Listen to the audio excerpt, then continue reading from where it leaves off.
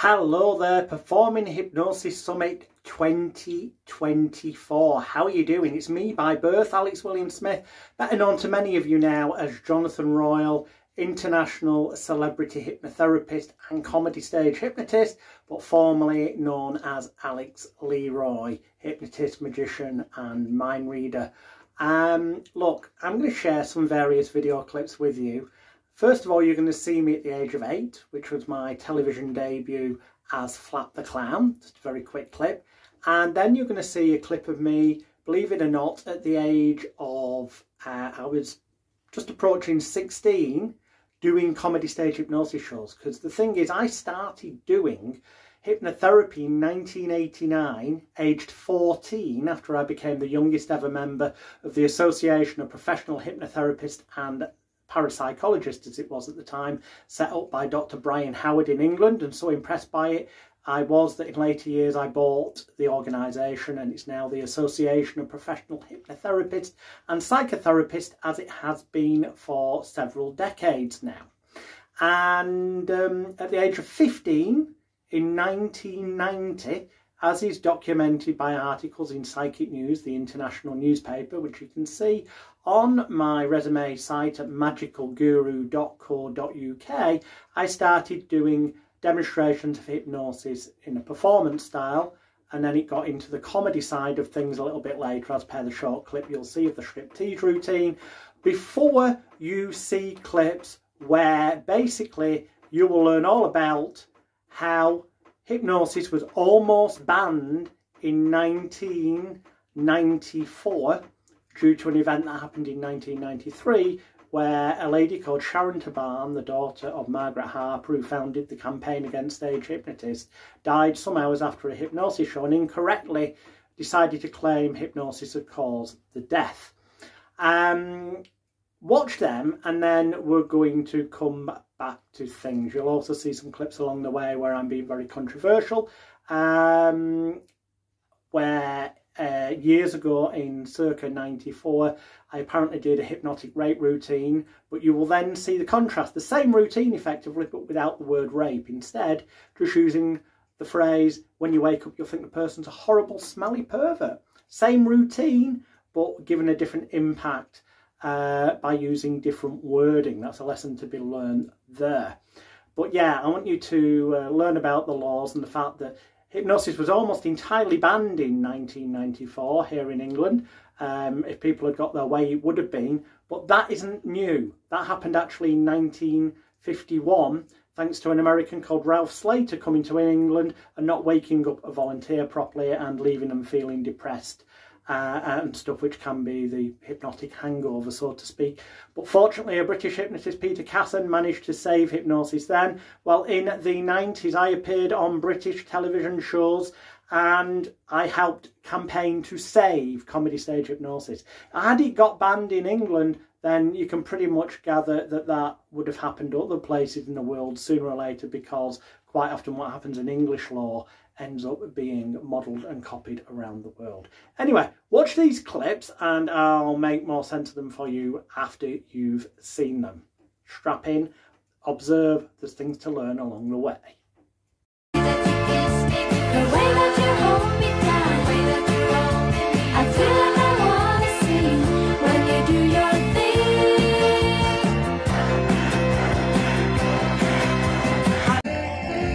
Alex's stage show has already branded him as the country's most outrageous hypnotist.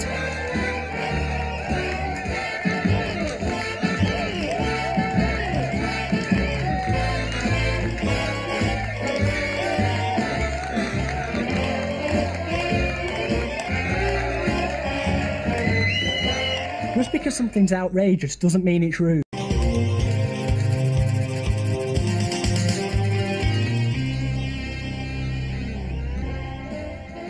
Hypnotism is big entertainment, earning big money for big performers, but it also brings big problems.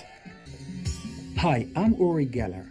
You're probably used to seeing me bend spoons, keys, forks, fix broken watches, stop clocks with the power of my mind.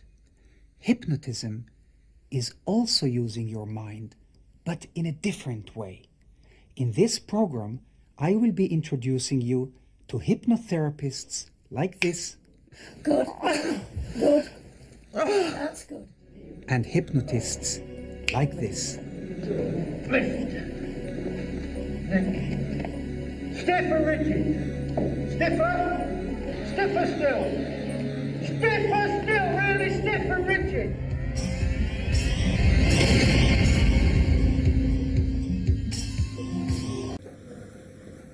Dr. Khawaja spent years perfecting his skills. At just 18, Alex Leroy already feels competent to pass his own. I mean, I've already taught uh, since about January of this year about 12, 13 people how to be stage hypnotists, and of them, there are at least six that I know of that are actually now working, earning money, and doing quite well. Alex's stage show has already branded him as the country's most outrageous hypnotist.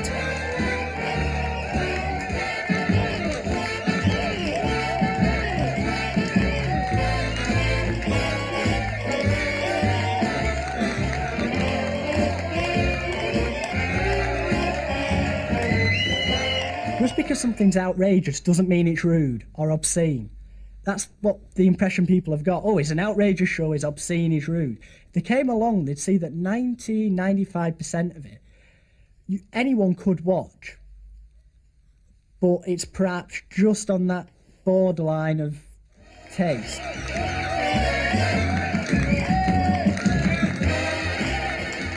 Every hypnotist on earth has, I would imagine, had circumstances at some point or another where there's been someone who's not happy.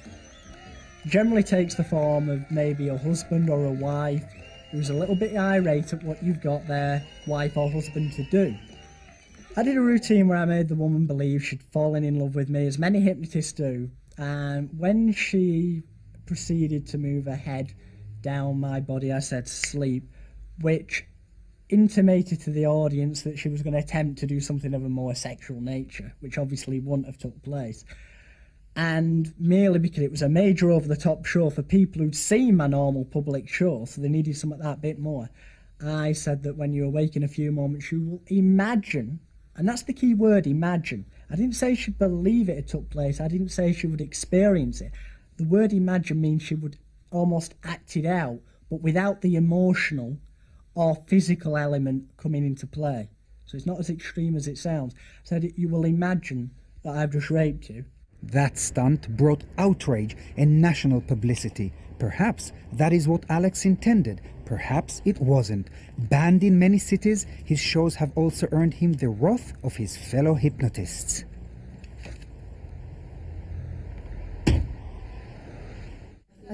Deep into my eyes. Because finally tonight, Tom Mangold reports on the potential dangers of stage hypnotism. Whenever I give you the very special pair of glasses, whenever you look through them, you'll think every man in this room is stark naked. Some people think stage hypnotism, the craze that's overtaking karaoke, is just a bit of a laugh, but others are not quite so sure. Hypnosis can do a lasting damage to an individual, psychologically and physically.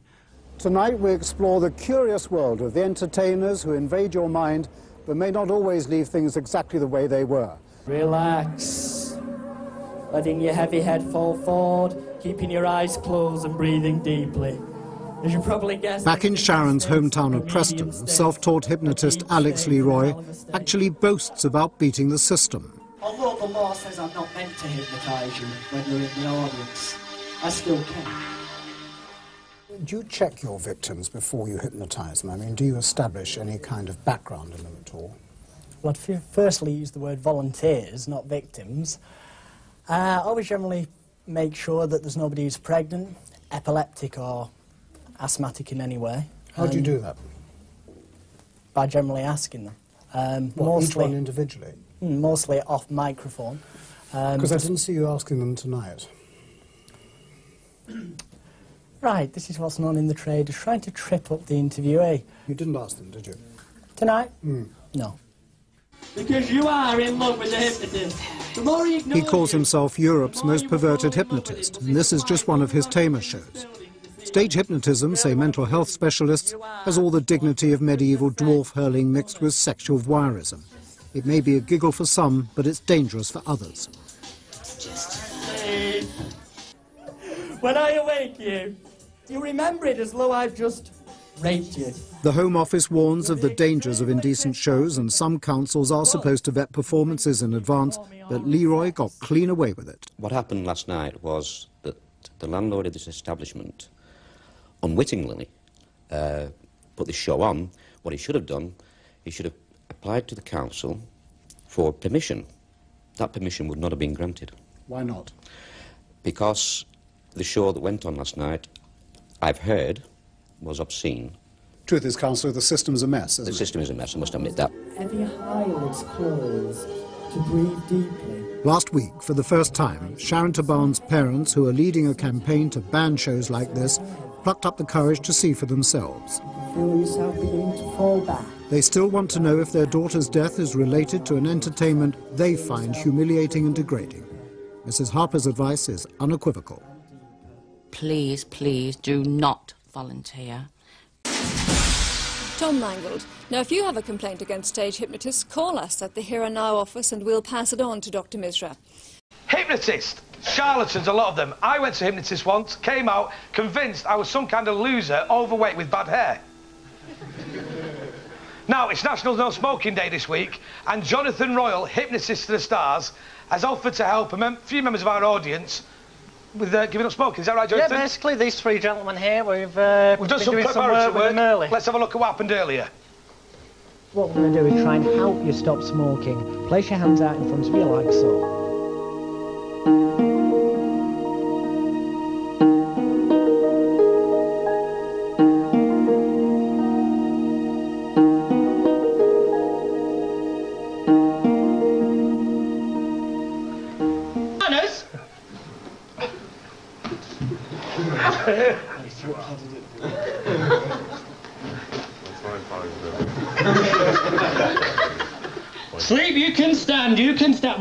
You can stand, you will not fall when you wake up, you'll be your normal self. Wake, wake, you rise and shine.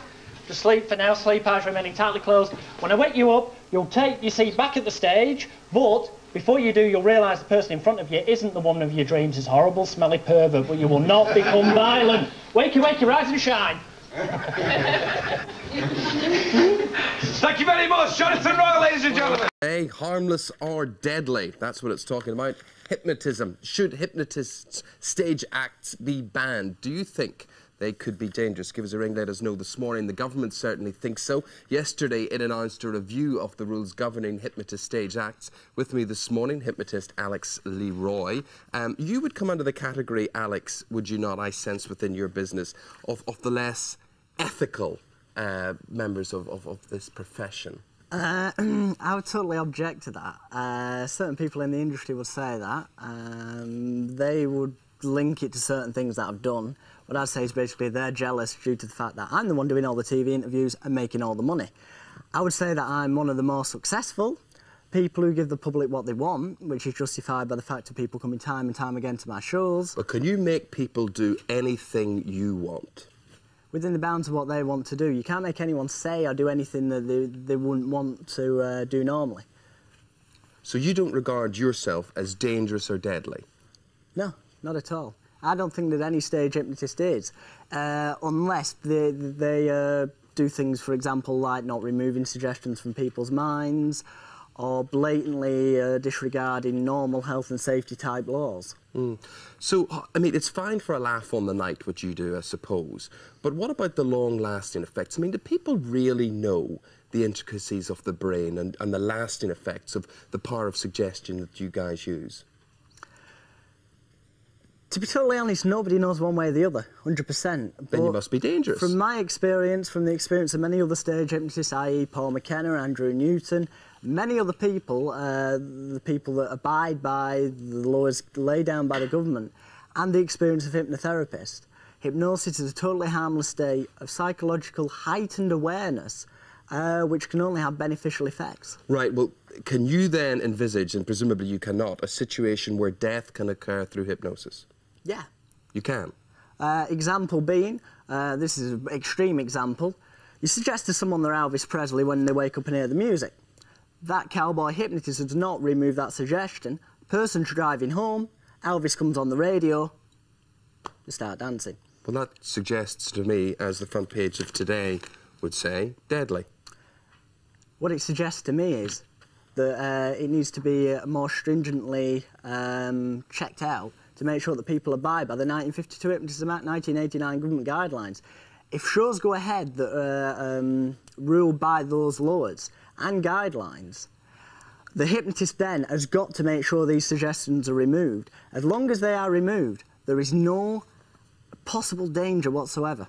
Okay, let's now go to uh, our studio in Manchester. There is Margaret Harper. Let me tell you about Margaret. Margaret's daughter Sharon died just five hours after being hypnotised in a nightclub. Uh, good morning, Margaret. Good morning. It does, though, have to be said, Margaret, right from the outset here, that the coroner failed to find a connection between your daughter's death and the fact that she was hypnotised. You disagree, though?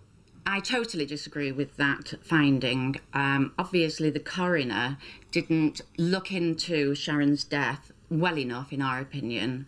Um, it's strange that Sharon automatically felt ill straight after being hypnotised. She'd never been ill in her life at all. And five hours after being hypnotised, she was dead. What would Um, you say then, Margaret, about the power people like Alex Leroy have here at their fingertips? Well, I've heard all sorts of different stories from many, many different hypnotists. They all have their own little corner that they obviously want to keep themselves quite safe in. We have hypnotists that are saying, yes, it is dangerous. We have hypnotists saying, no, it isn't dangerous. Um, what I actually listen to, who I actually listen to, are the medical people. They seem to know more about hypnosis than these stage hypnotists. Can I just put in, if you listen to the uh, medical people, uh, Margaret, why not listen to the coroner, the pathologist, Home Office reports, which said uh, it was hard to rule out there was a link between hypnosis and the death of your daughter. However, upon further examination, we found there's no link whatsoever. And in fact, that she died through natural causing on inhaling her own vomit, which are documented in the media and medical in the past, can happen through drinking, it can happen through drugs, it can happen Alex, through we've stress. heard all sorts of different stories. It has been implicated Yeah, by saying is, certain if you listen to the medical people, that Sharon why not listen to them? That Sharon actually died because she was a drug addict. Sharon actually died because she got a brain tumour. Right, so you're going to know, get all lots these of different, things, said, but what, what, no, what, let, let I'm not here point. to argue What- with you, No, Alex. but what- what- All I'm saying is that your campaign is driven by emotion, not no, logic. it is not. Um, when you receive hundreds and hundreds of different phone calls from traumatic cases after volunteers have been hypnotised and then they've found themselves completely unwell immediately after, not only physically unwell but psychologically unwell, we are handling and dealing with these cases continuously. So, Margaret, Now- you're becoming a focus then for these sort of complaints. You're hearing these more and more. Exactly, we are. And this is what's causing us great distress. This is why we've actually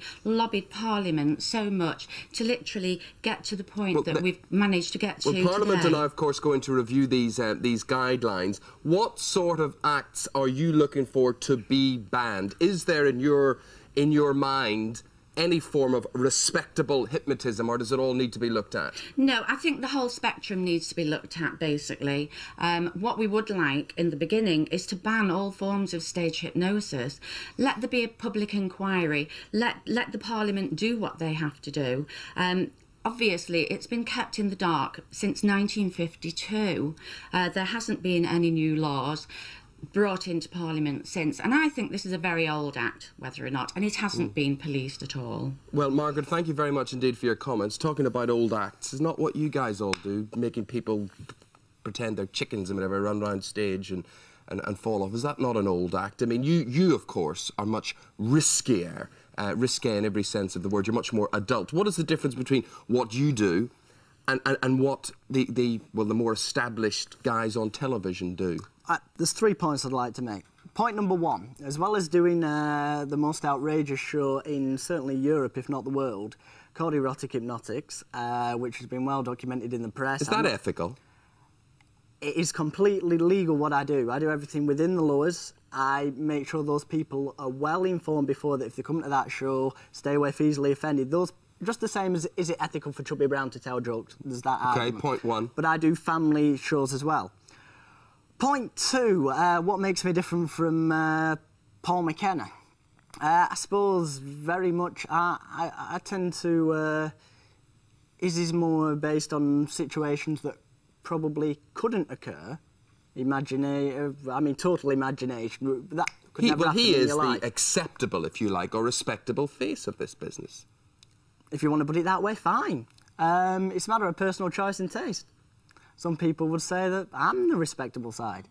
Uh, I, I prefer to do things that people might do in the privacy of their own home. Third point quickly. And third point quickly is uh, the saying should have tighter guidelines. I totally agree with that. I think they should also have tighter guidelines on television.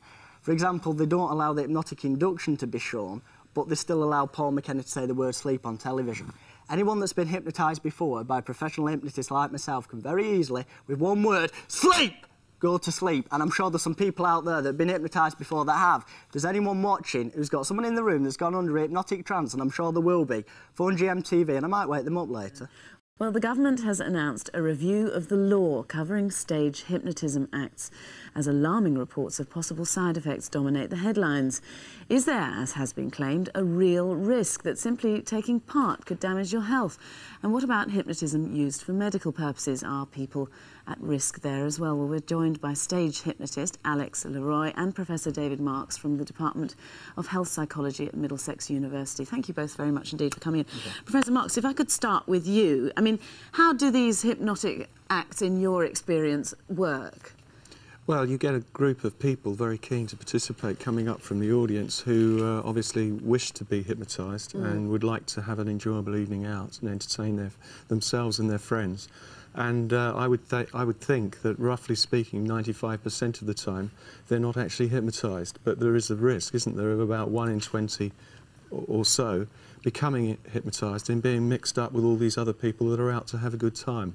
And is, are, they the people at risk, the ones who actually have genuinely gone into a trance? Yes, I think they could be at risk if um, they they are vulnerable at that particular time, have certain uh, thoughts or feelings about events which uh, And, you know, why do they? up. Why, why are they then at risk? Because obviously people are put under hypnosis, you know, quite regularly for all sorts of reasons. Why, why are they at risk if they're in a trance? Well, the vast majority of the time they would not be at risk if the if the Mm. person uh, knew what they were doing. But there could be cases, perhaps one in a thousand, who knows, where they could be quite vulnerable to various things happening to afterwards.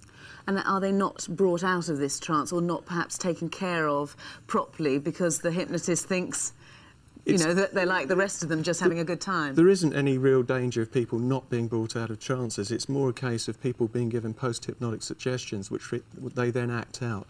Now, some of these, um, I mean, we've heard of, of, of a woman who, who, who, who died. Um, it hasn't been proven that it was the hypnosis that did it, but, um, you know, ca- symptoms such as headaches, proven that it depression... wasn't a hypnosis. Well, hang on a second. Headaches, depression, panic attacks, and even the desire to commit suicide. Are those symptoms that you would expect um, from uh, hypnosis for, for particularly vulnerable people? Yes, if a person was already suicidal or very depressed and went up on stage and was given certain suggestions which triggered off even even deeper emotions, then of course there could be an increased risk for those people. Right. Okay, well, Alex, your turn. You're a stage hypnotist. I mean, uh, do you accept any, any of the professor's uh, remarks there? Not in the way that he's saying. There are dangers with stage hypnosis. There's dangers with comedy shows. There's dangers with uh, music shows. You just well, except that in hypnosis, I mean, if you are hypnotised, you're sort of, if you like, out of control. I don't believe that anyone, Paul McKenna, Andrew Newton, myself, I don't believe any hypnotist has ever hypnotised anybody. There is no such thing as hypnosis as. Uh, so you're debunking your own profession. Not, not, not in the way that this gentleman is trying to put it across. All hypnosis is self-hypnosis, it's cooperation. In two senses, you get the people that want to take part for the fun of it, that are not hypnotised. Hypno hypno hypnotised is a totally misleading word in itself. It comes from the Greek word meaning sleep. It's nothing to do with sleep. Um, so what do you do up there on stage? I mean, are your, are your participants, as far as you're concerned, in a hypnotic trance? Again, you come to the everyone has this misconception of what a hypnotic trance is. Those people that I've got on stage uh, are in a state where basically the only difference from the way you are now is that their eyes are closed, they're very relaxed. The only thing they're really concentrating on is perhaps the music or the sound of my voice. And basically just it removes some of the inhibitions. So, I mean, is there, but is there a risk? I mean, these people, I mean, there's genuine concerns. This has been brought up in Parliament, you know, um, there has been a death. Now, again, um, it hasn't been proved that it was linked to the show, but the, the people involved in investigating it believe that it has. No.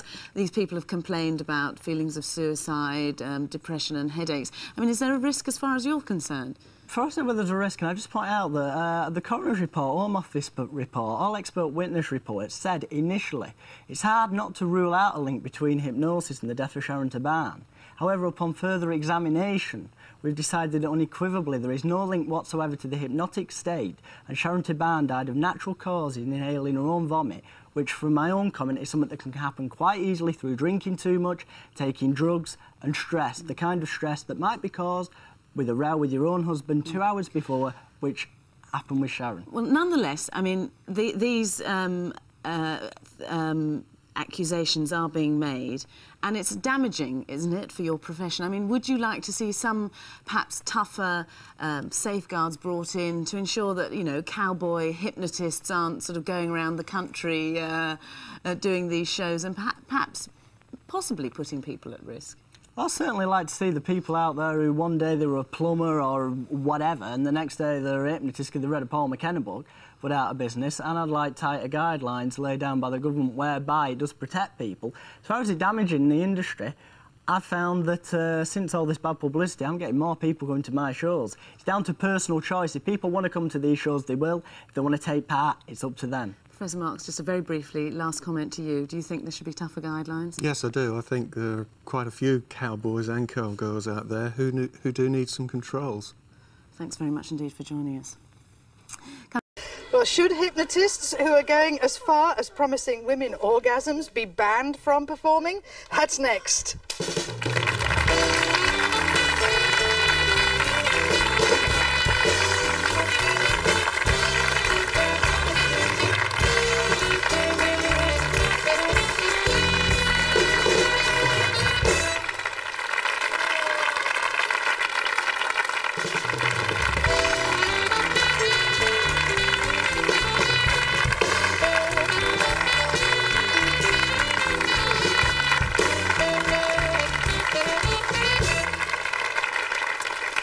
Welcome back. The craze for hypnotism shows where people are made to make fools of themselves has started to look a bit dodgy. Some local authorities have already banned shows, including one just this week. So how should we regard hypnotists who make people do things which may not come naturally to them? Right. Entertained, not bored now, by Mr. Elvis Presley you'll not, you'll not be bored by this man. Let me just introduce you to this man. This, this man, you think you've met a few of them already, but this man is known as Britain's most hated hypnotist, and you're Alex Leroy. Certainly I am, Why are you hated so much, Alex? Uh, basically because a lot of people call themselves master hypnotist, whatever hypnotist. I call myself super pervert! And that's the type of show I do. You're a, you're a super pervert. Yeah, but uh, within every boundary of the law of the 1952 Hypnotism Act. Right, right, right, right. If, if you, if, like me, a few of you may have read the newspapers this week and you may have discovered through Alex's story that being a hypnotist perhaps, away, can I say, helps you curry favour with the girls, does it? It um, makes it makes attracting girls somewhat easier. It depends in what respect you're asking that. Does it or doesn't it? In what respect are you asking I'm that? afraid to look at everybody's eyes here. I'm afraid of being put under, under a trance with this one. Watch my lips, it's very easy. Mm -hmm. Does being a hypnotist help you attract girls more easily?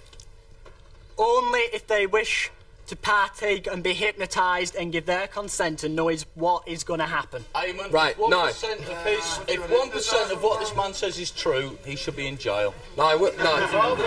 if we get if we get a good look, if we get a good look at Alex here. Now, Alex, the, the point is that in your past, right, you have made certain women believe that you, and I'm sure no one at home will doubt this, are Mel Gibson. right?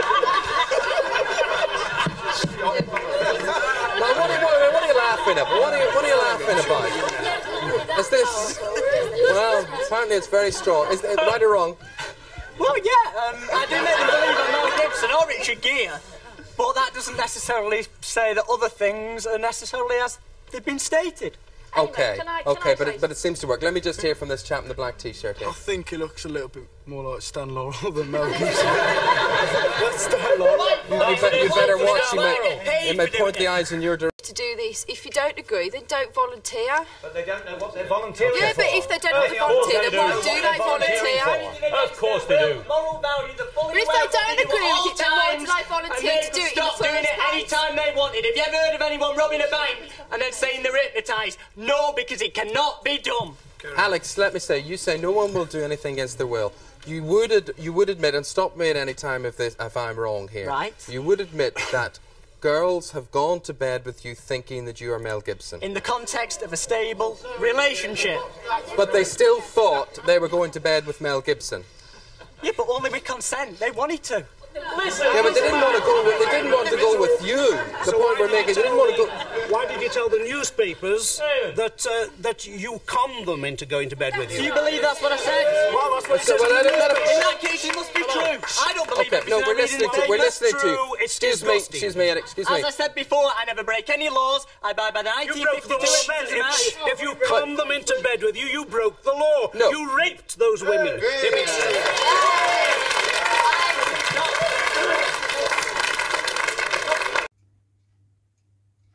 Next, you're going to see a clip of a show where they incorrectly made out that I regularly brought the law doing hypnosis shows. This is not true. When you have loopholes in a law, as long as you operate within those loopholes, it means that you are operating within the law, lawfully and legally. And that is all I actually ever did. So I was operating at all times and still do to this day to the 1952 Hypnotism Act, 1989 Government Guidelines, 1995 Home Office Report, 1996 amended guidelines, along with uh, the impact of the Licensing Act 2003 here in England, but also wherever I go in the world, uh, I'm fully legally compliant. Unlike many hypnotists, because I ensure that all relevant health and safety laws, duty of care laws, and other things are fully abided by. As you'll see when we examine the wording for posters that I recommend you use wherever you are in the world. In Lancashire, one hypnotist has spent years brazenly manipulating the law. Alex Smith has a criminal record and has been banned from established hypnosis organizations. This hasn't ever stopped him before. Hypnosis is one big conga. The public don't know how it works, and that's why we can get away with doing it. It's the complete definition of the 1952 Hypnotism Act a complete and utter farce. Their definition of hypnosis is anything that's intended to produce a state where somebody becomes more suggestible. Well, if that's the case, then having sex with your wife or your husband should be banned under the 1952 Hypnotism Act because at the moment of orgasm you automatically become more suggestible. If a hypnotist chooses to be unethical, he can get round the Hypnotism Act with ease. It contains a significant loophole which allows anyone who claims to be doing research to be exempt from all restrictions. Alex Smith operates as a scientific research hypnotist. If you get all your participants after the show to uh, fill in a questionnaire or even just to verbally answer some questions so you're collecting data. There is no laws if you perform as a research hypnotist. Other than you cannot hypnotise anybody under the age of 18 Do you not think that's unethical? No. Well, why is it unethical? If people willingly come along and willingly, of their own free will, participate, knowing full well what they're getting into, then it's only the same as if they decide to go paintballing. They know full well that they may have a protective mask on, but when those paintballs hit you, they're going home with lots of bruises on them. So Smith performs highly dangerous routines without any fear of redress.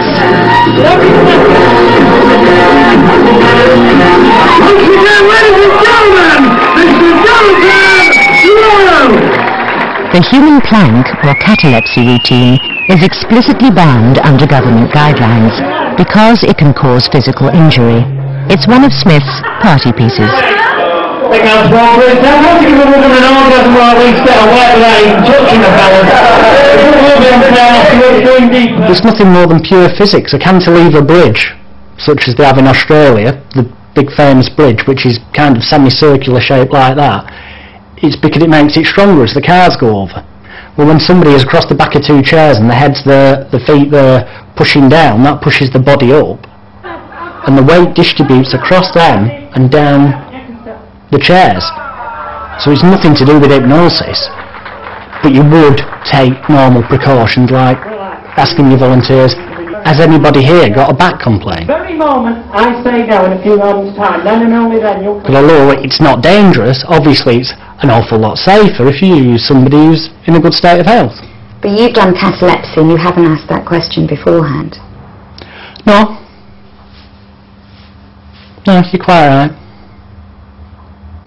I can't describe really how I or any of my colleagues feel about Alex. Um, as a stage hypnotist, he just goes too far, way too far.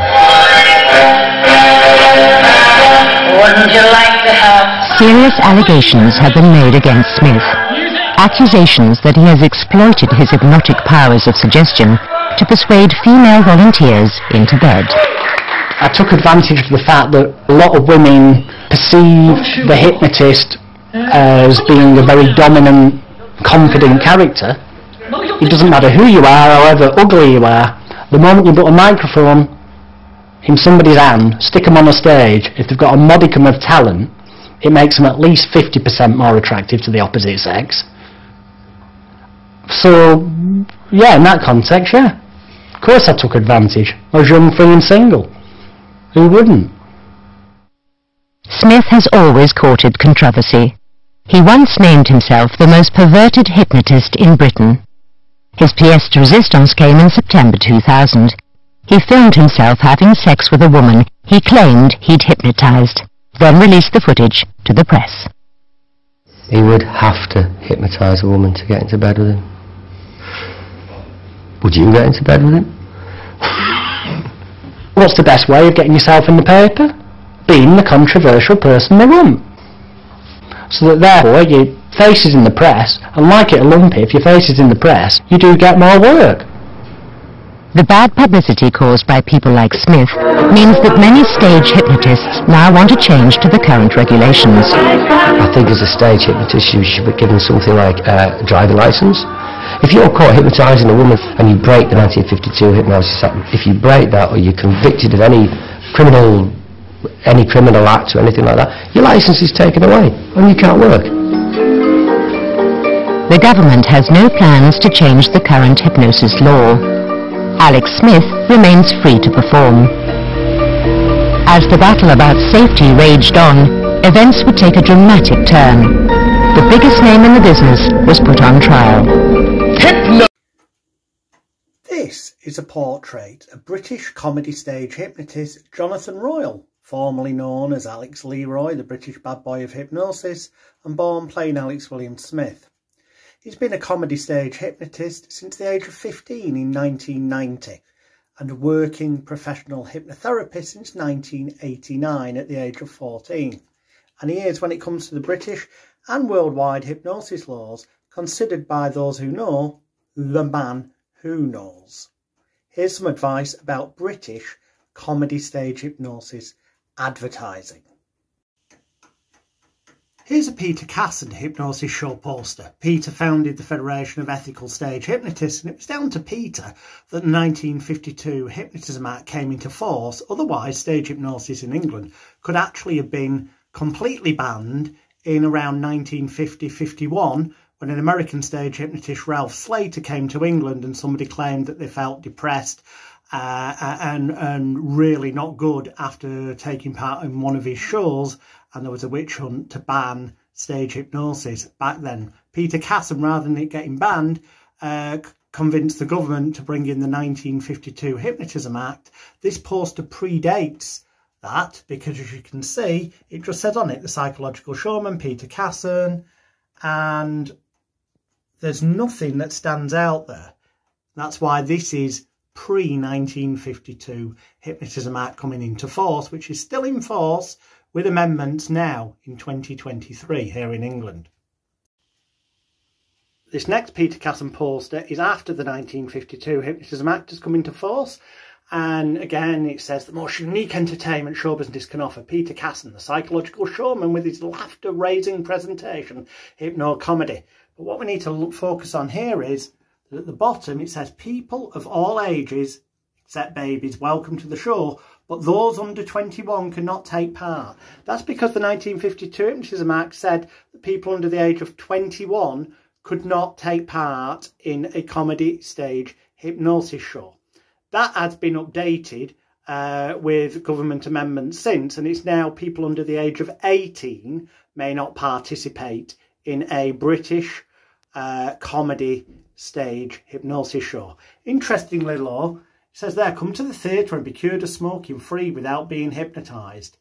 Well, that's interesting because you're not supposed to do given the amendments that are in place now. May have been fine back then when Peter did it, but now you're not supposed to combine hypnotherapy with stage hypnosis, except in a few circumstances with the right wording in place and right legal things in place, which we'll come to later. Here's another post-1952 Peter Casson uh, poster. As I say, he founded the Federation of Ethical Stage Hypnotists, and as you'll see down here, Persons under the age of 21 are prohibited from participating in the exhibition of hypnotism imposed by Section 3 of the Hypnotism Act 1952, which is still in force, it's just that it's had amendments and updates, meaning that it's now persons under the age of 18 are prohibited from participating in the exhibition of hypnotism in British comedy stage hypnosis shows. Which is why on all of my posters, and this has been the case for, oof, for I started doing shows, comedy stage hypnosis shows in 1990, age 15, and hypnotherapy in 1989. But all of them have wording on the bottom, which we'll look at more closely in a minute. Whatever the designer poster, all of them have certain wording on the bottom.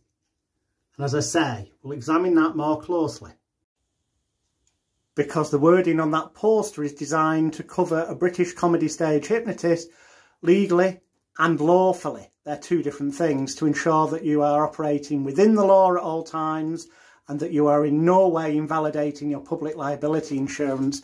And that is what this here covers.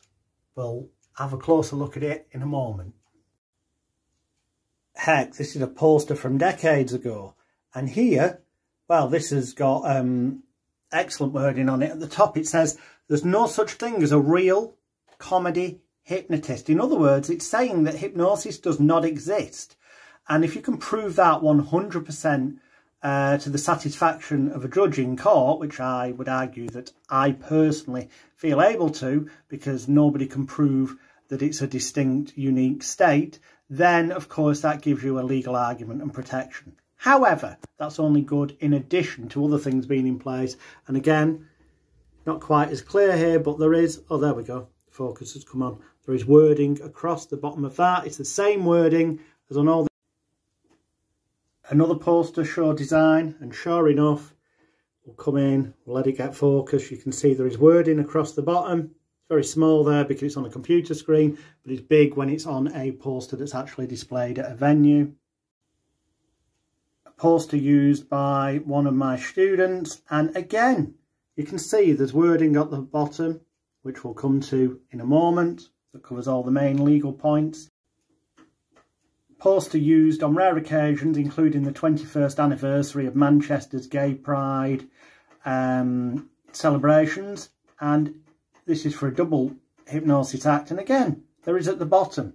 Far more visible when it's on a poster in a venue a disclaimer that covers the legal and lawful things and make sure that your insurance is completely valid at all times. Yet another designer poster and you can just about make out from the distance the wording that is across the bottom which is very visible when it's on the proper poster and you're seeing it eyeballing it in real life displayed in a venue or when you can enlarge it on your computer screen when it's shown on social media or the internet. Hopefully by now you get the point that it doesn't matter what the poster design is, all of them, without fail, for British comedy stage hypnosis shows, have certain wording on the bottom that is a legal requirement. Some elements of it are legal requirement, some of it are things that I add to ensure that I am always operating within the law because there are legal loopholes that as long as you abide by them, you are operating within the law at all times and therefore cannot possibly invalidate your public liability or professional indemnity insurance. A final example being this cartoon poster, one that I use most often now. Again, it's got the wording across the bottom and we're about to take a closer look at that now. The wording across the bottom of my cartoon poster says volunteers must be aged 18 or over, participate of their own free will, and may leave the stage at any time during this demonstration of hypnotic style phenomena presented strictly for scientific and research purposes only. There is actually a slightly longer version on my other posters, which we'll look at now, which states volunteers who must be aged 18 or over may leave the stage at any time, participate of their own free will, and at their own risk during this entertaining demonstration of hypnotic style phenomena which is being presented strictly for scientific and research purposes only. Now, as this man, British comedy stage hypnotist Jonathan Royle, formerly known as Alex Leroy, can tell you, back in 1994 there was another witch hunt to try and ban comedy stage hypnosis and indeed Jonathan Royle, as per the link you'll find above or below this video, was instrumental in campaigning to save comedy stage hypnosis and you can see videos of some of his TV appearances in 1994 doing just that uh, at the link above or below this video. So in the 50s, Peter Casson fought to save comedy stage hypnosis, and thus we ended up with the 1952 Hypnotism Act, which back then said that you needed to make it clear that only persons under the age of, uh, people under the age of 21 were prohibited from taking part. The Hypnotism Act 1952 still exists, but amendments have been made and updates, meaning that now it's people under the age of 18 that cannot take part. Then in 1994, they tried to ban stage hypnosis. Look at the link above or below this video for more information on how I helped save that by campaigning on TV shows, on radio shows and in the media.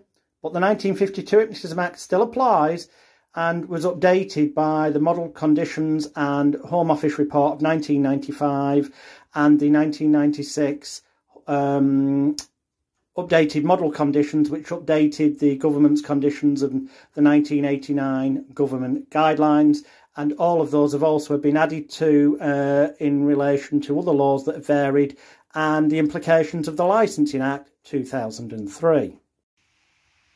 You can go on the government website here in England and you can read the Hypnotism Act 1952 in full. You can also search the internet and look up the Home Office Circular number 42 of 1989 and the Home Office Circular number 39 of 1996, which added model conditions regulating exhibitions, demonstrations and performances of hypnotism in England and thus updated elements of the Hypnotism Act 1952, not least of which was the fact that it's no longer uh, people have to be 21 years or older. It's now that they have to be 18 years of age or older to participate in a British comedy stage hypnosis show taking place in England.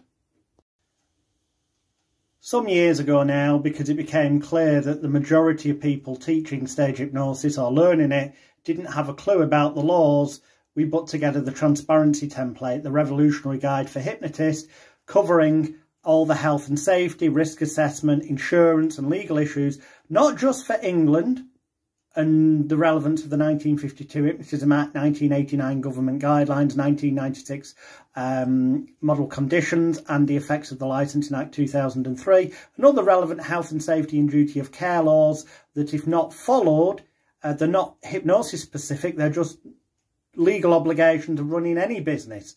And if you don't follow them properly, you could invalidate your public liability and professional indemnity insurance. These are all things we cover in depth in the transparency template, as well as everything you could ever need, want, crave or desire to know about comedy stage hypnosis, street hypnotism and entertainment hypnosis and doing group therapy sessions in all forms.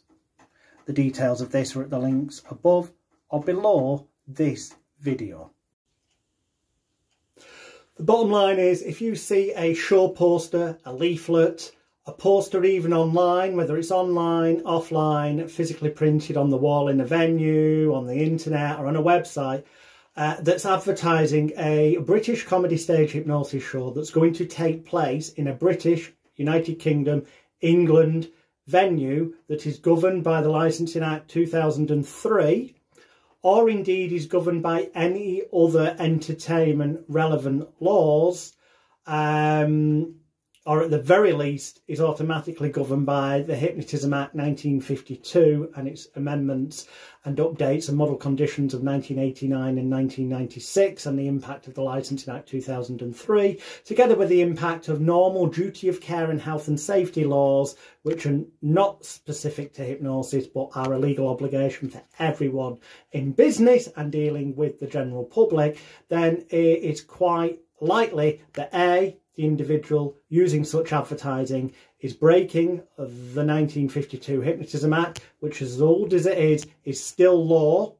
And if you are breaking a law, generally speaking, if you are not operating within the law and are not operating fully legally and lawfully in the course of your business or activities, then any public liability or professional indemnity insurance that you may have, were, God forbid, somebody to make a claim, rightfully or wrongfully, um, you may well find that it would be deemed invalid by the insurance company if it was shown that you were not fully compliant with all your legal and lawful obligations of the 1952 Hypnotism Act, 1989 Government Guidelines, 1996 Model Conditions, Licensing Act 2003, and standard and normal duty of care and health and safety laws. These are things that 99% of hypnosis trainers either don't know or don't teach you, and even if they do, they skirt over it because they don't understand it in the depth that those people that we've consulted with, experienced health and safety experts, experienced business compliant uh, law, legal business compliance uh, experts, and other experts basically in the legal profession uh, that helped us to put together the transparency template, the revolutionary approach for comedy stage hypnotist, street hypnotist, and entertainment hypnotists who want to do shows legally, lawfully, licensed. Yes, you need a license or you need to, and to get a license, you need to apply for it in the correct manner and abide by those things and have a proper risk assessment in place. All of things that are covered by the uh, transparency template. Indeed, if you don't have a risk assessment in place, arguably, for each show as well, not just a general one, one that's venue specific, then arguably you could be argued by an insurance company if anyone ever tried to make a claim that you'd invalidated your insurance because you'd not got the proof that you were abiding by all duty of care and health and safety laws. It's things that we cover in depth in the transparency template. All the details are at the link above or below this. But currently, to be honest, you know what? You'd be wise just to join the Elite Hypnotherapy and NLP Hypnosis Bootcamp. It's got everything I've ever released over several decades, together with expert training from 20 other trainers, covering everything from hypnotherapy and NLP on the one hand to stage hypnosis, entertainment, hypnosis on the other. And it's not just UK laws that are covered. We cover laws and legal obligations all around the world because believe it or not there's other countries where there's laws as well and you have to abide by them, otherwise you will invalidate your insurance. And God forbid, but if as per the links above or below this video, you were to find yourself in a situation like I was in 1994 when they were trying to ban stage hypnosis in England,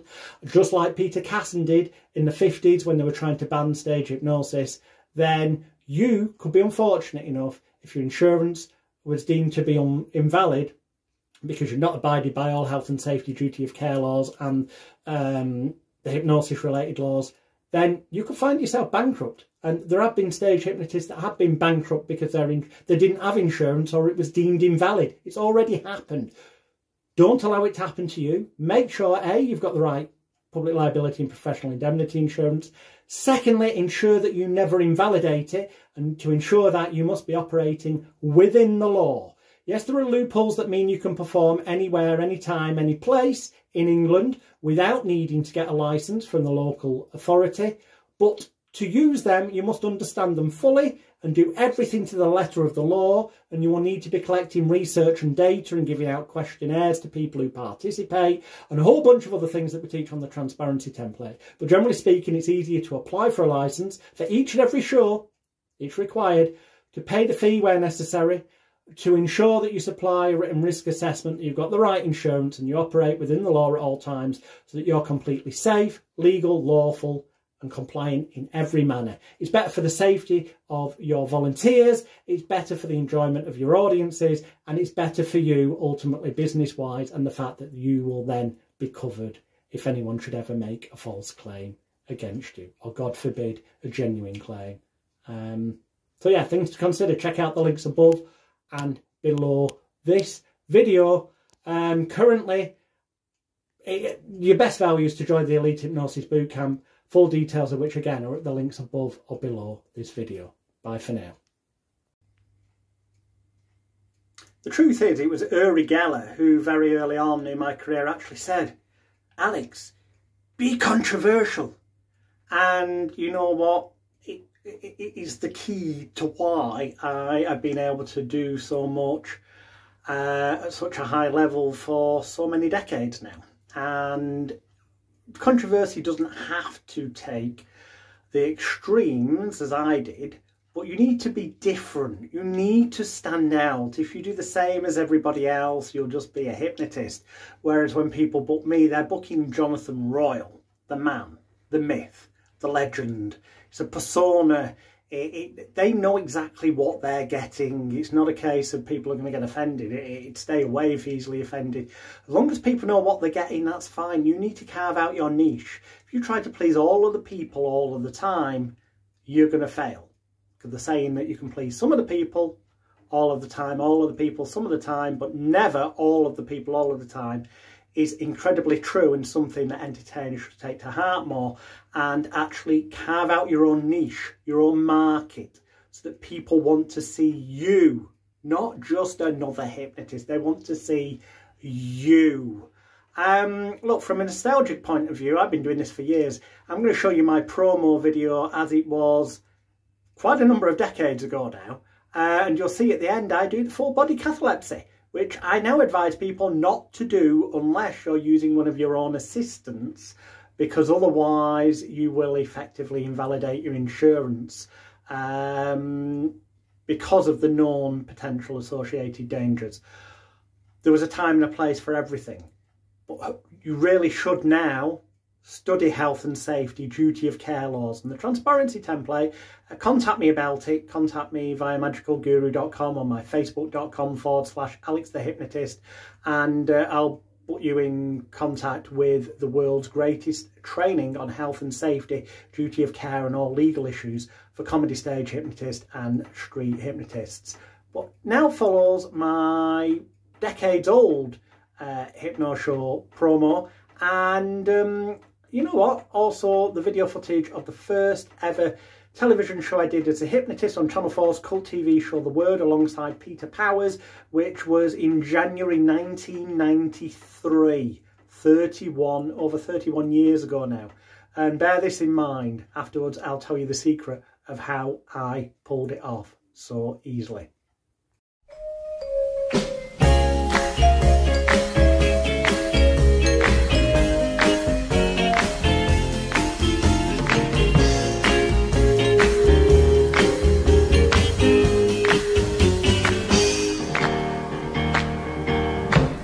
I see you, the more I want you. Somehow this feeling just grows.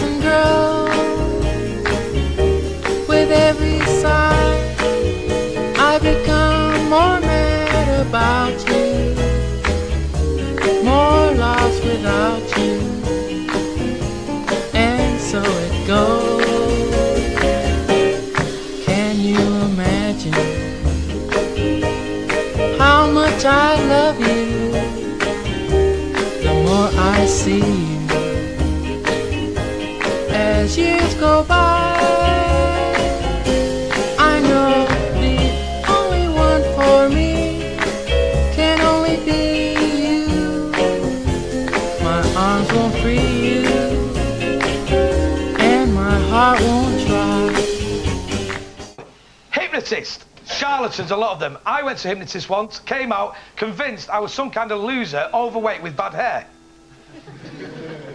now, it's National No Smoking Day this week, and Jonathan Royle, hypnotist to the stars, has offered to help a mem few members of our audience with uh, giving up smoking. Is that right, Jonathan? Yeah, Jonathan? basically, these three gentlemen here, we've, uh, We've done been some doing some preparatory work with them early. Let's have a look at what happened earlier. What we're going to do is try and help you stop smoking. Place your hands out in front of you like so.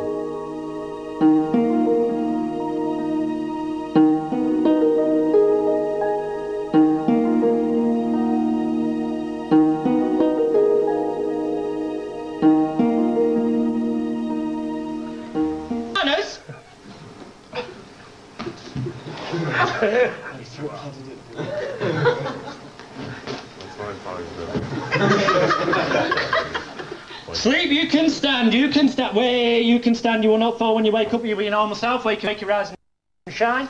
Just sleep for now, sleep eyes remaining tightly closed. When I wake you up, you'll take your seat back at the stage, but before you do, you'll realise the person in front of you isn't the one of your dreams, is horrible, smelly pervert, but you will not become violent. Wakey, wakey, rise and shine. Thank you very much, Jonathan Royle, ladies and gentlemen. Ladies and gentlemen, Mr. Jonathan Royle!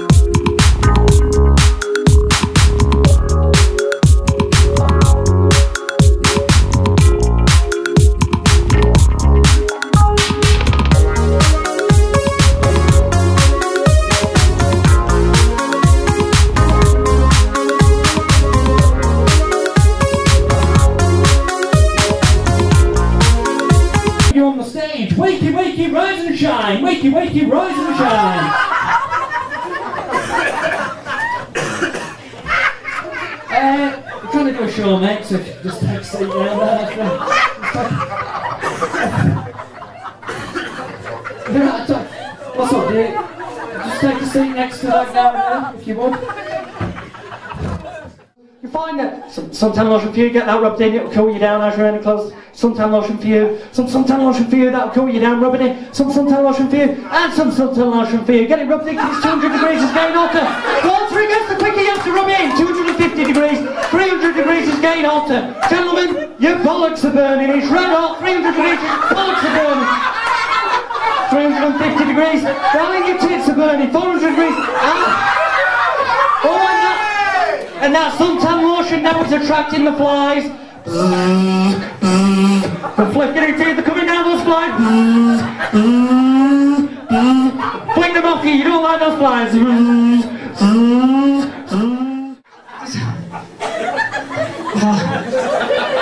Oh yeah, good, but guess what? I, those glasses are good, but the tablet I've got in my pocket's even better, darling. When I take it, once I've took it, I know, just sit down a minute, you'll like this. I know it's only small, but I've got this amazing tablet. You've heard of Viagra. I take this tablet here, yeah? And every time I click my fingers like this, it grows ten times bigger. Every time I click my fingers like that, it grows ten fucking times bigger. Getting bigger and bigger and bigger and bigger and bigger and bigger and bigger. Now what do you think of that, love?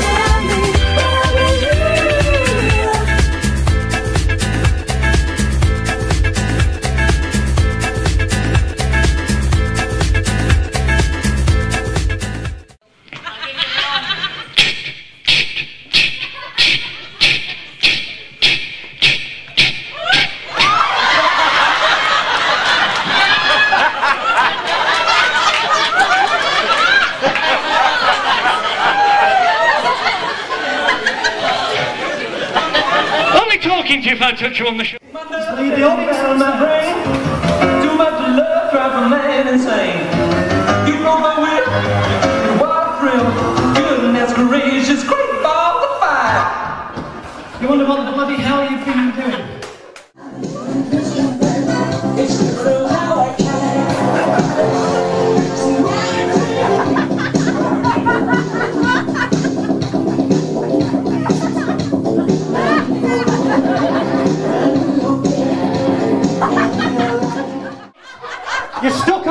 On the chair. Wonderful. There you go. There you go. There's a pie. Take a seat, sir. That's wonderful.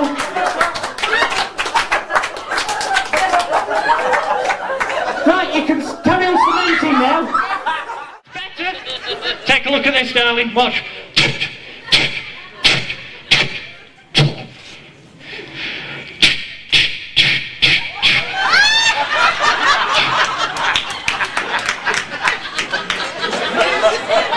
I never fucking said anything. I'm only talking to you. I found a new way of hypnotising people with me cock. But that's not going to be cementing now. You're not stuck. You're not. What? You're not now. What's up, mate? You got the pie? What's that? You want the pie? I'll tell you what. There's a pie. Yeah. That's for you, mate. Off the floor! I'm sorry, mate, but I have no clue what you keep doing. But you might find that useful. I don't know why, but just give yourself a wipe. And this is going to be madam. I will try. Give myself a wipe. Can you get off the cement, please, bud? Bud, take a seat. That's wonderful.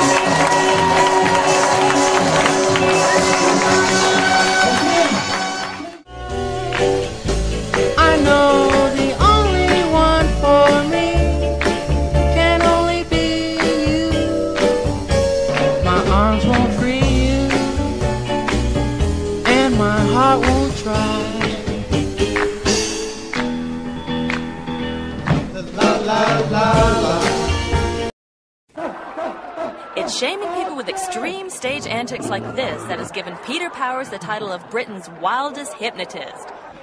Powers holds the world record for high speed hypnosis, putting 12 people into a trance in 60 seconds.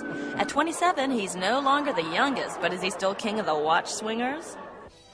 Tonight's challenger for the world's hippest hypnotist is Alex Leroy. The son of Tizzy the Clown and Marianne Montana the sharpshooting cowgirl, Alex started his showbiz career at the age of three as Flap the Clown.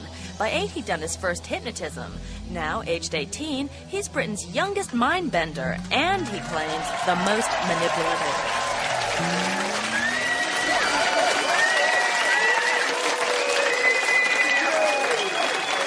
Alex, thank you very much for coming on. Thank you. And Peter, thank you very much. Thanks for coming on. Now, but I'll explain exactly what's been going on. Earlier on, a football team of 15 for each side was taken into a room, and these two boys applied their crafts. And we've got the four most susceptible people from each football team. They are all volunteers. There's nothing uh, unethical or improprietary going on at all, is there? That's right. It's completely down the line. So we're going to have a quick taste now of exactly what they're going to be doing later on, and then we're going to have the full later on. So, uh, Alex, if you want to start, show us exactly what you can do. As soon as I say one, two, wide awake, you'll all be instantly wide awake. You're at a football match, but instead of football players, there are 30 naked women on the pitch. You can also see everyone in the audience of the opposite sex in the nude, and the more noise you make, the more sexual things they'll do to you. One, two, wide awake, everybody! That's it, the more noise you make, the more sexual things they'll do to you. The more noise you make. I think that's more than Sleep! Sleep! Sleep! That's enough, and that's just a taste, unfortunately, of what's going to come. Peter, if you want to show us what you can do on your side? When I count to three, you'll be wide awake, and you'll be wide awake. Every single word that you try to speak will come out in Chinese, much to your surprise. When I count to three, you'll be awake, and every word you try to speak, you will come out with a stutter, a terrible pronounced stutter. You've always stuttered, so it doesn't matter. One, two, three, you can wake up, lads. Are we going to win the match tonight? How many goals are you going to score? Two. Two. Are we going to win tonight, lads? Are you going to win? How many goals are you going to score? Oh, shut oh, up. that's enough of that. That's enough of that. That's far too humiliating. Well, I'm not totally convinced myself, but on the other hand, I'm not going to look into their eyes because it's, uh, it's a bit too scary. So let's see what they can do later on. Terry. Welcome to the first round of the Battle of the Hypnotist, and we've brought in at great personal expense our celebrity judge, Katie Puckrick, who's going to be adjudicating. And not a big round of applause either, was there? Come on. For flip's sake. So I'm the celebrity. Yeah, Mark, just Mark, for tonight. Mark, you must be hard up.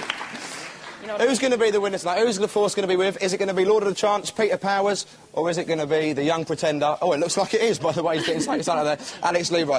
Now, I'll introduce the, the teams, because I didn't introduce them earlier. These are the William Stevens Football Club from Dublin. and on this side, on this side, we've got the Sholin Sports and Social Club from Southampton. Must stress that all these people are volunteers. They're all over 18. So for the first round, I'm going to give you half. A, I'm going to give you a minute actually this time, Peter. So take it away. Show us what you can do. They played very well in the first half, at least these three have anyway, and I'm going to reward them with an apple. When I can't, in fact, hold your hand out ready for your fruit. Hold your hand out ready for your fruit. As soon as I put it into your hand, you'll open your eyes, and there you will see a delicious apple. It will feel, smell, and taste just like the most delicious apple you've ever experienced. As soon as I put it into your hand, you can open your eyes, you can bite it, it will be delicious. You really enjoy it. As soon as I put the fruit in, you can open your eyes and eat it. There's your apple. There's your apple. Take a nice big bite now. There's your apple. Take a nice big bite. Enjoy your apple. Open your eyes, you can eat it. You've not played very well at all. You've lost. You have lost your concentration. And that's because somebody has stolen your willy. When I count to three, you'll be wide awake and you'll realise that Mark has stolen your willy and he swapped it for his little teeny weeny one and you're bloody furious. You want it back. You really lose your temper. You'll not be violent. One, two, three, you're wide awake. Mark, you bastard! Give it back! I want it back now! Give it back! I think we'll leave it there, Peter. I think we'll leave it there. And in fact, the only reason I agreed to do this piece was if we dropped the willy bit. Well, I think you sneaked in with a few extra points there, didn't you, Peter? Alex, show us what you can do. And try and make it a little bit more tasteful if you could. I'm only talking to you if I touch you on the shoulder. When you wake up, you've got a red card in your hand, and you're the referee at a football match. You've got to send the other players off because they've done something really awful. You won't accept any shit from them. You three, when you wake up, you've been sent off, and you know it's the end of your career if you get sent off, so you're going to plead and beg, and you really don't want to be sent off. One, two, wide awake, wide awake, everybody, wide awake. How many times have I got to tell you? You are You are not moron. right. Get off! I just despise you. Hey, sit down. Sleep, sleep, sleep. When you wake up, you're a really apologetic referee. You're really apologetic. Sleep, sleep, sleep and stand, sleep and stand. Award points for this. What do you reckon? Well, that seemed a little bit like amateur dramatics, but I was quite It seemed like a normal load of drunken footballers, didn't it, really? But I was pretty impressed with the, the onion eating, although that might be something that they like to do in the privacy of Okay, their so own how many, how many points for each side? I think you mean Pe- Peter's in the lead. Yeah, Peterson. I, I did like that, that little showdown, though, with the, The little willy the, bit. the schlong schlinging. Yeah, all right, we'll leave that. We'll leave that. We're going to come back for the finals of that Wait, in wait, the next part of the show. points. No, no, we're talking about points later on. What, what kind of Coming up, Eskimo to meet you. And Madonna will be joining Terry on the couch. See you later. Welcome back to round two of the Battle of the Hypnotists. Katie, come round. Um, so far, Peter's in the lead. Peter scored no points, actually, because we didn't award any points last time, but he's well in the lead. Alex is trailing behind. Uh, best bet, better point out, all these people are volunteers. They all said, yes, we'll do it, but they are all drunken football players, so that would explain a few things. This side are from Dudley, this side are from Southampton, and... Uh, Ray, that's a lot of people from Southampton are called Ray, apparently. But anyway, Alex, if you want to get going, you've got a minute to show us what you can do for the Okay, it's final a cold round. winter's morning, just sleep, relax. It's a cold winter's morning, you're asleep, snuggle up to the person next to you. It's a cold winter's morning, snuggle up to the person next to you. You're in love with the person next to you. That's it, snuggle up to the person next to you. It's a cold winter's morning. Now, when you wake up, you wonder what the hell you've been doing. You'll have a sore ass, you'll have an erection, and you two will have a funny taste in the mouth. You'll wonder what the hell you've been doing. One, two, wide awake, everybody. Oh, yes! Sleep, sleep, sleep, sleep, sleep. Okay, just sleep, relax, breathe deeply, sleep. Okay, now everybody, we haven't got any music, so do you all know the stripper? Da, da, da. The louder you do that, the more clothes these people are going to take off. When I wake them up, okay, the louder you do that. Ladies and gentlemen, you've seen the Chippendales. You've seen Adonis. Tonight we have for you. And you will be the world's greatest strippers and take off more and more clothes the more they sing. But you'll keep one item of clothing on you. You all must do. You keep your shoes on. That'll be all right. Everybody, one, two, wide awake.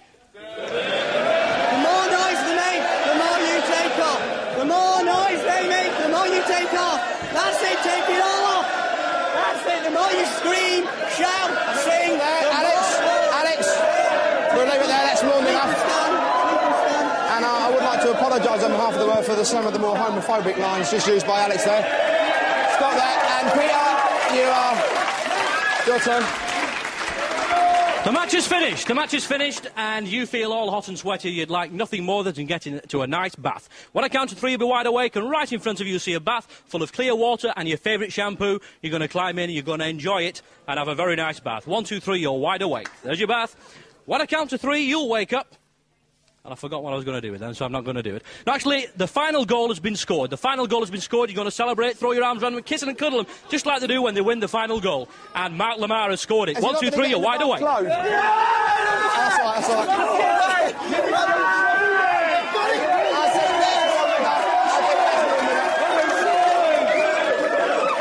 Some of us rise above that.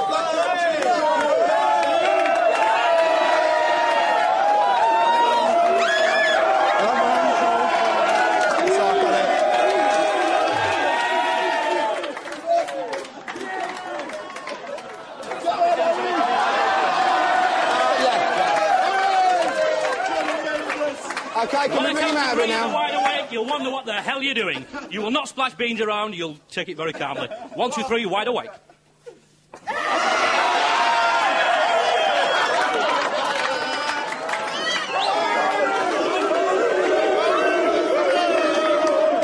All our contestants this evening are over 18, though some of them probably act like this anyway.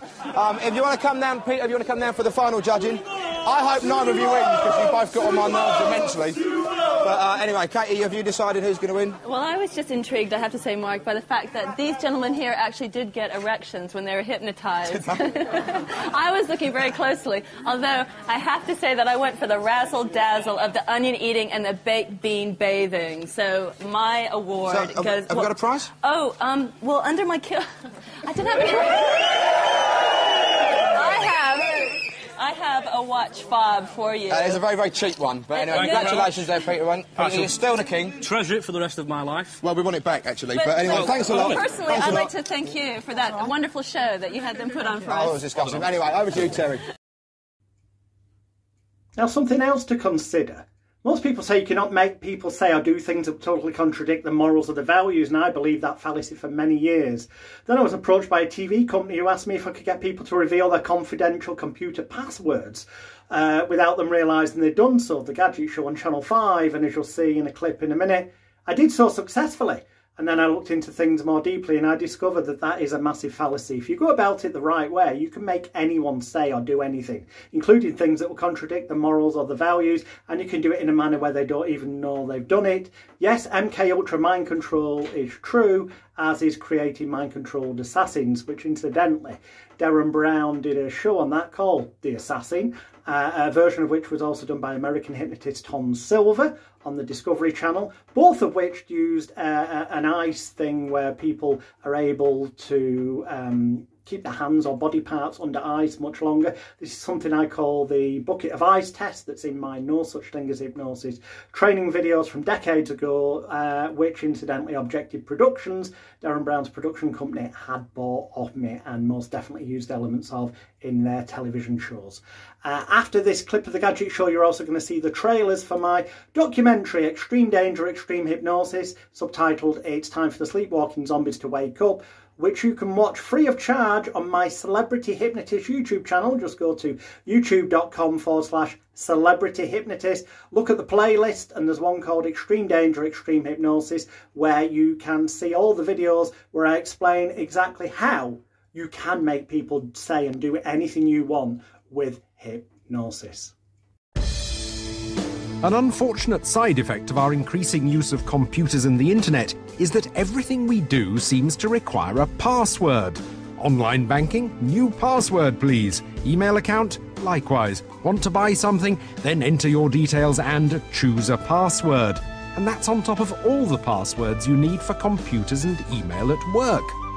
These passwords are the front door key to everything our money, our credit card details, our little secrets, our company's future product development plans, whatever.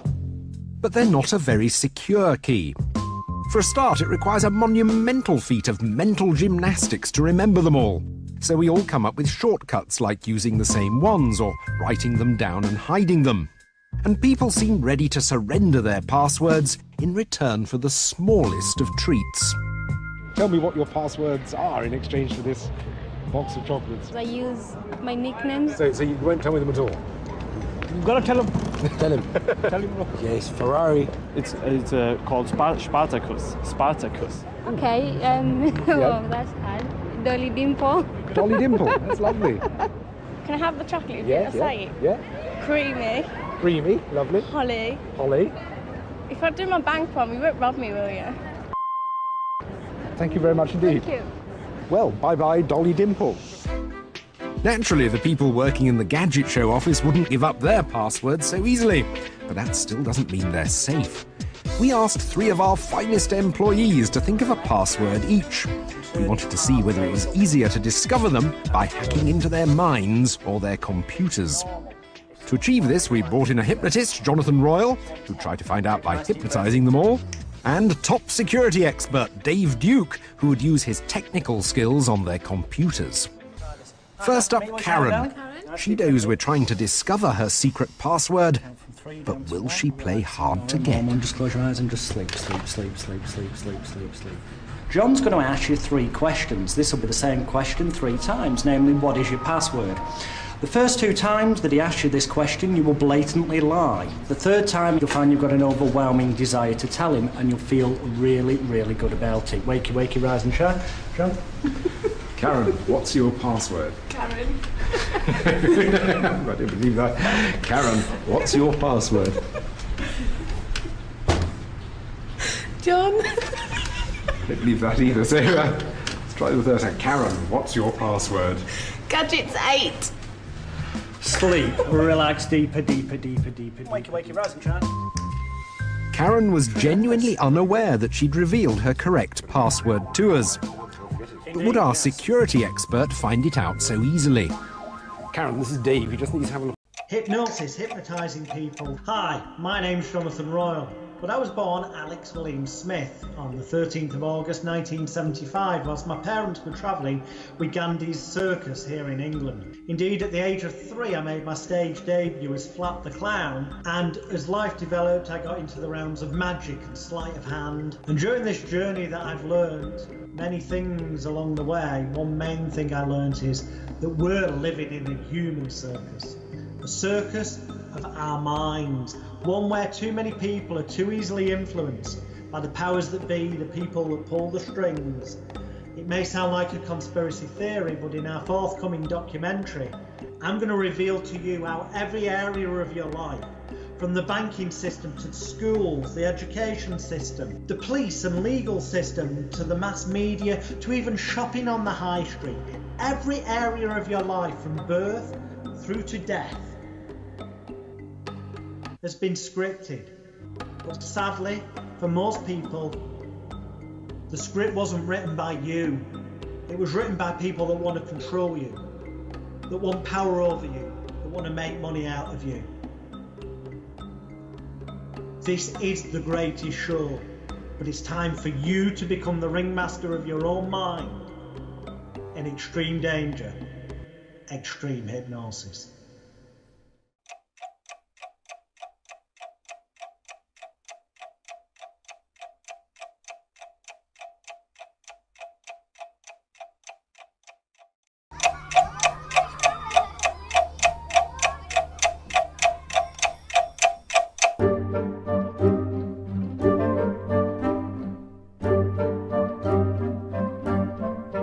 Films absorb you. You look at the big screen, you almost become involved in it. So we're in Canary Wharf. They're lending out more than they've actually got, so it's all an illusion. They promoted a concept called social turbulence, creating constant crises within uh, society, creating constant, constant trauma within the uh, members of that society so that they're overwhelmed. If you give them the illusion of choice, they think they're living in a freedom world. The London HQ for Rupert Murdoch's media publication. But then it was suggested that they get some cocaine for him or, or something. is do not, do not roll out 5G until we understand these uh, mechanisms. The British Brainwashing Corporation. It's covered by a royal charter here in England, which means that it's supposed to be impartial in things like politics. Make America great again. What is America? What is America? Is it a corporation? Is it California? Is it New York? The Houses of the Parliament, this is where the circus is run in England. Religions are like everything else, a control system to make you do what other people want you to do. it always tends to be the musicians giving it the eye symbols, giving it the Illuminati symbols in videos and stuff like that. The Tavistock Institute and the British Psychological Society on a back street in London, in the middle of nowhere apparently, seems all very innocent. Escapism from everyday life, just like the television in the corner of your room, because they've been brainwashed. Like most stage hypnotists, Sapphire owes much of her skill to this man, the great Delavar, a showman and therapist for more than half a century. His book, The Hypnotist's Bible, has been the answer to many a mesmerist's prayer. Anybody who reads that book should be able to put somebody in a trance and also know what to do after they've put them in a trance and how to get them out. Really, no hypnotist knows what is taking place in the mind. It's like sleep. Nobody knows what takes place when you're asleep. Nobody knows what takes place when you are dreaming. But hypnosis is similar to a dream, only you still obey it. We don't know. Nobody knows. Nobody can actually say if a person is in a hypnotic trance or not. All hypnotists must be showmen. The most dramatic one, of course, is to lay somebody across the chairs. And their body is rigid, really rigid. They call this catalepsy, but catalepsy really means rigidity of any part of the body. But this is something that you can't normally do. The odd person might do it, but the majority of the population cannot, of their own accord, just lay across the two chair back.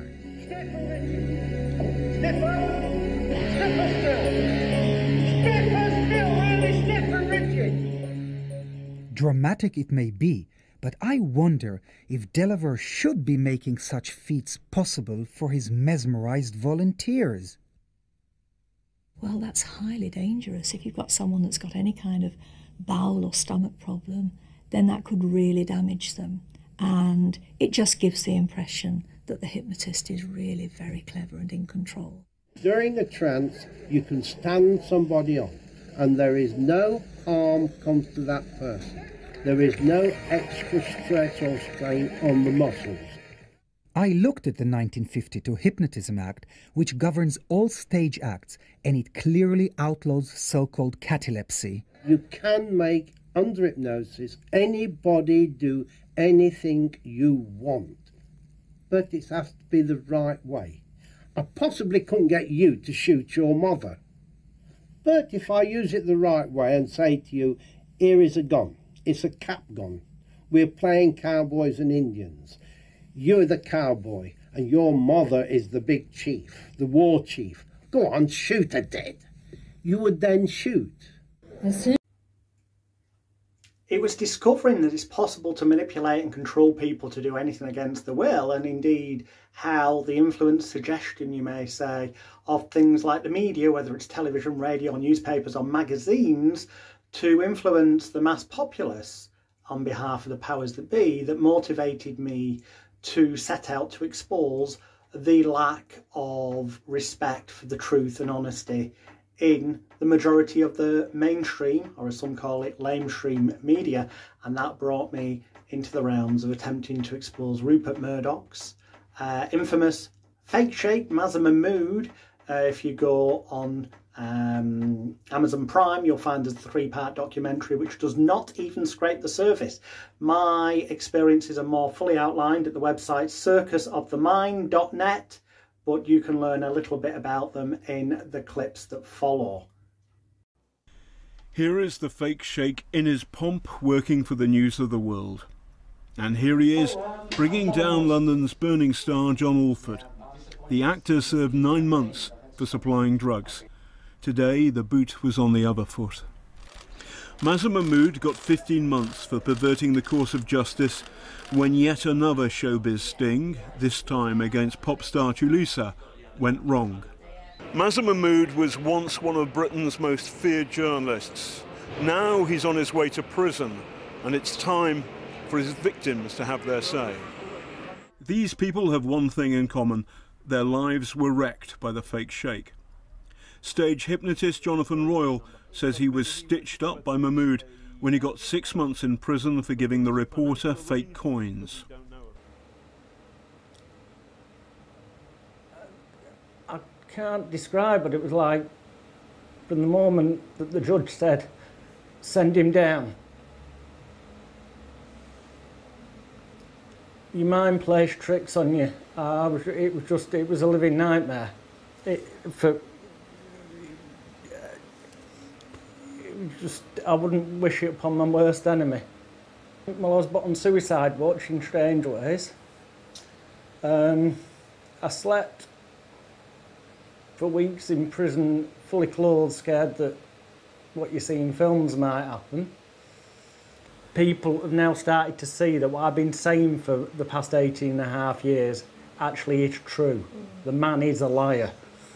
Another scalp, former world champion boxer Herbie Hide, who got 22 months for supplying drugs.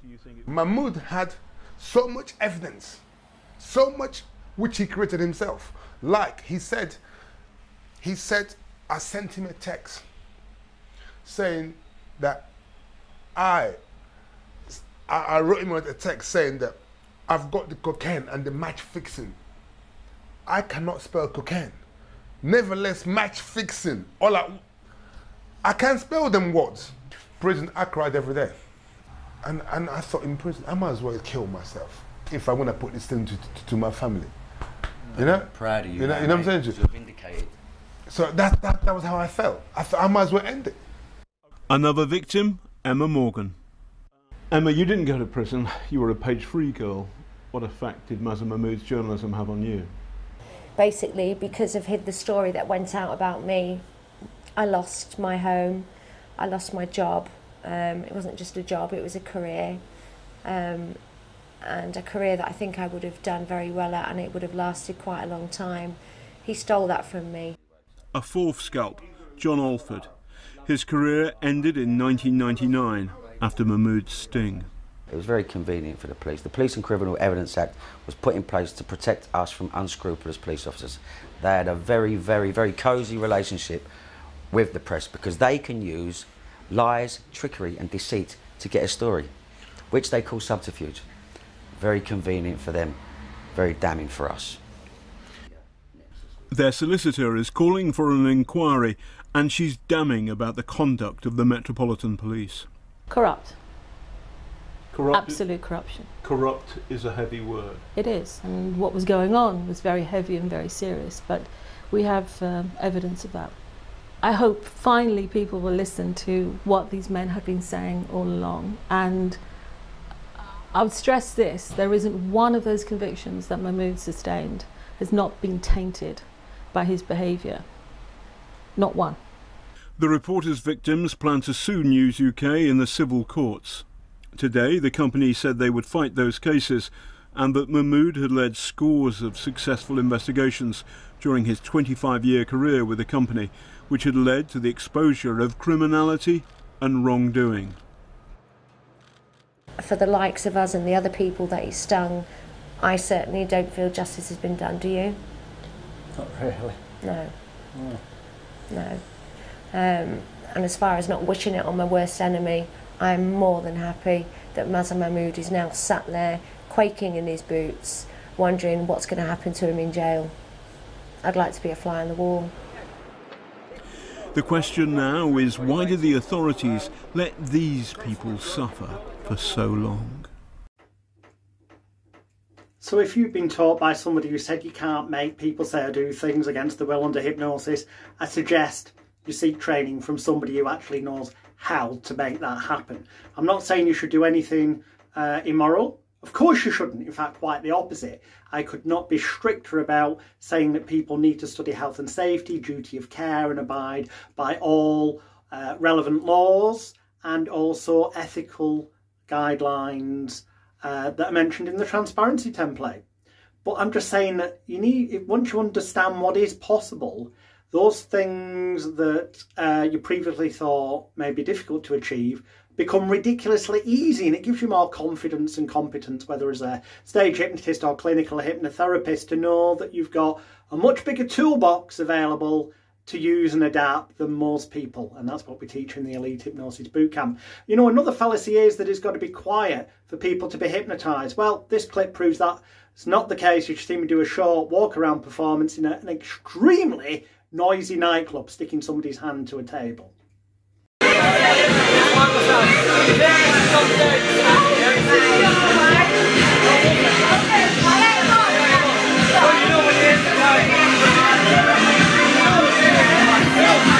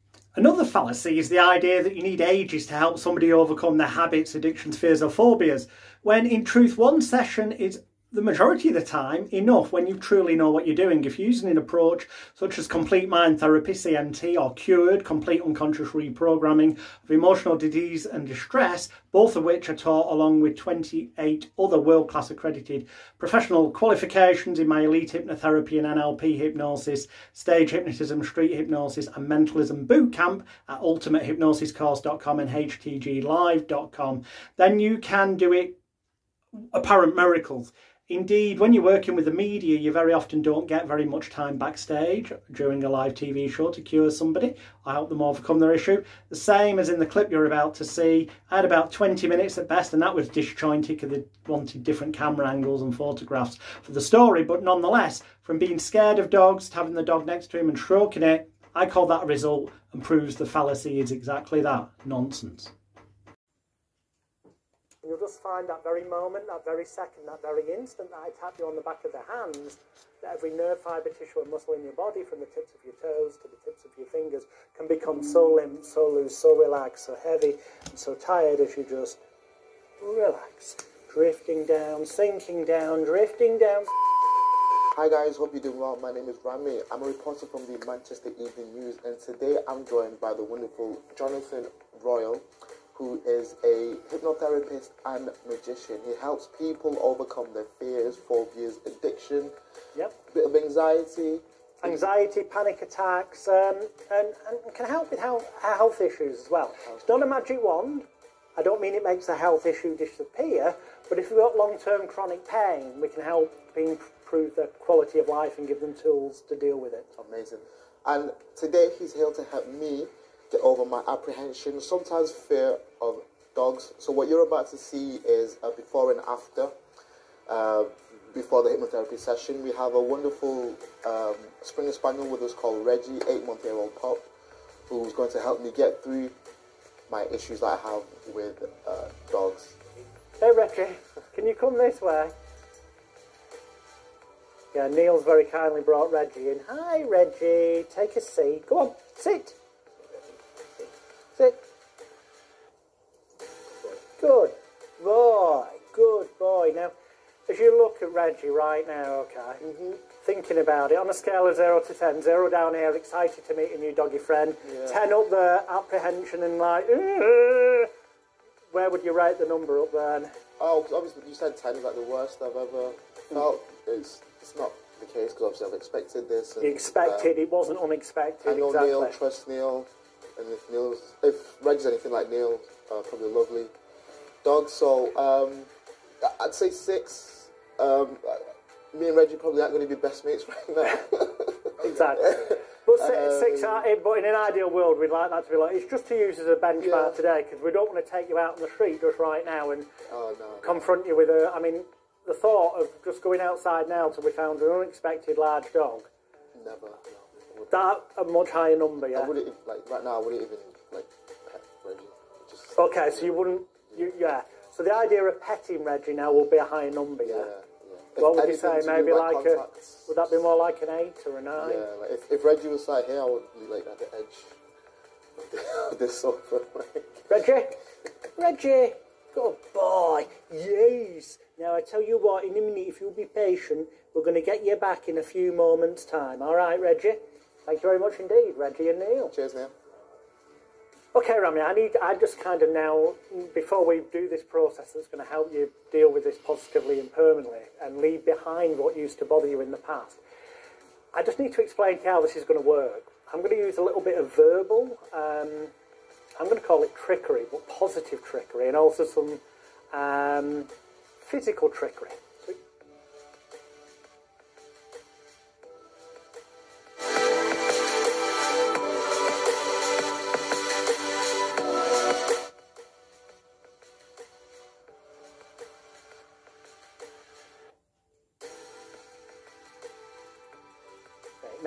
Eyes, look at your thumb.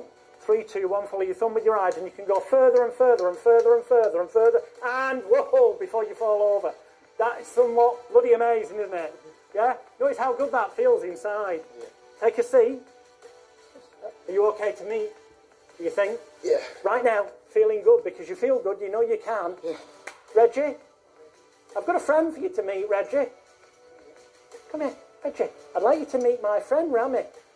You okay? Yeah. You like to give a little stroke? Hello. Now here's the weird thing, you wouldn't believe this, would you? I bet, Reggie. But before, you wouldn't have done that 10, 15 minutes ago, would you? No. And thinking about it now, I know there's still a little bit of apprehension there, but Yeah. that's fine. But how much better does that feel? Yeah, feels good. Um, Is it a good sense of achievement? That's a big, massive step yeah, forward, isn't it? myself, what was I so scared about before? Because that, just that physical touch, that was... Uh, But don't worry, you don't have to feel daft about that or anything, because some people do. They go, "Well, I feel daft." I, I did. No, it's perfectly normal because it was in your. It was like a computer program running that you couldn't do anything about. All we're doing is giving you some mental antivirus software for the mind. He just wants to be with, uh, with Neil instead. The camera's this way. No. Never work with animals or children. That's what they say. Oh wow. Now, ha- thinking about it, right? How, how, how do you feel? I know it's not going to be 100% perfect yet. A lot better, before- Massive, a massive difference in the space of like 10 minutes. Yeah. Imagine how much better it's going to continue to get and will get when we've done the, oh, let's just say hello. When, when we do the proper eyes closed relaxation process. Yeah. Excellent. Thank you for bringing uh, Reggie along, Neil. Thank you, Reggie. Cheers, Reg. And uh, yeah, we'll, we'll, we're going to cement everything in now and make it po- more positive and permanent for you. But excellent.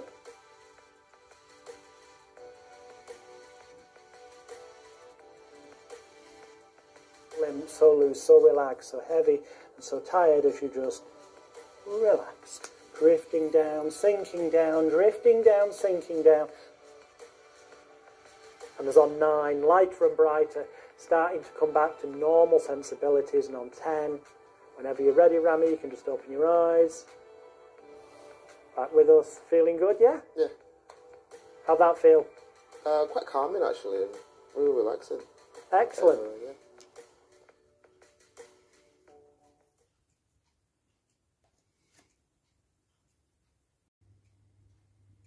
Our bottom line message is this be different, don't copy others, stand out from the crowd, carve your own niche, be an individual, do what you do because you love it, and find the crowd that fits with what you truly will enjoy doing. And then people will start to book you rather than just another hypnotist. You'll become more in demand and earn more money. You'll also be more confident and competent.